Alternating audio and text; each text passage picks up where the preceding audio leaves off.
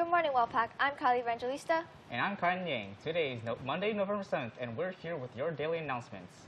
During your first period classes, you have the opportunity to earn donuts. The three first period classes with the lowest percentages of tardies in the month of November will receive donuts in December. Seniors, remember that the deadline to purchase tickets for the Disneyland trip is November 9th.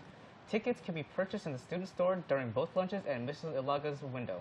They accept credit cards, cash, check, and money orders.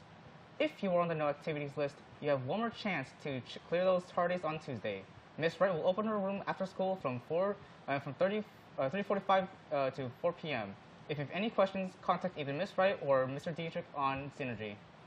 Let's check in with Cooking with the Pack. It is Halloween right around the corner and time for fall festivities. So we have some sugar cookies that we are going to decorate here. As you can see, we have the start of some candy corn. We're going to make some spooky ghosts So let's get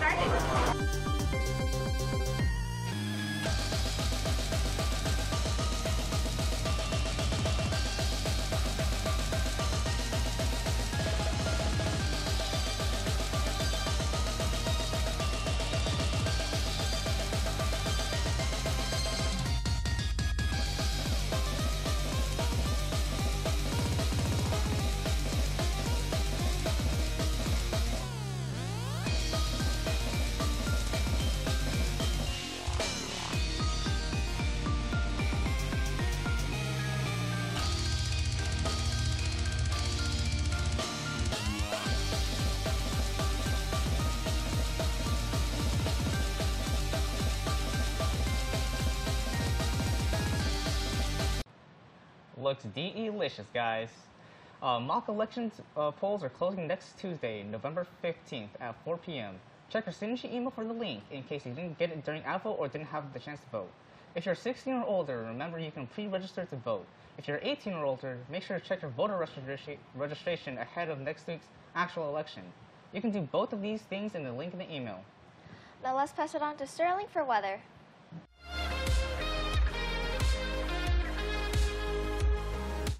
Good morning. I'm Sterling, and I'm here with your weekly weather forecast.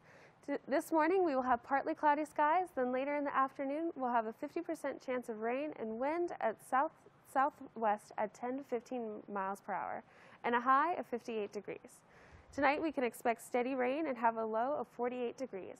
As, as the week goes on, we can expect rain all day tomorrow and rain uh, in the morning on Wednesday.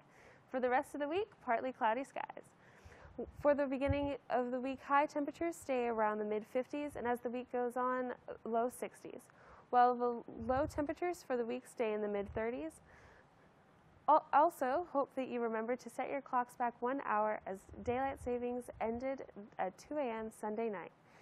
Well, ho- hope you enjoy the rainy weather, humans. Have a wonderful week.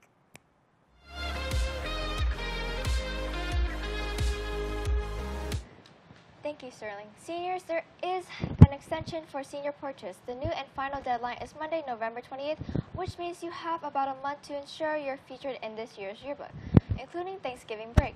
See the yearbook website, the senior Google Classroom, or the newsletter for more information.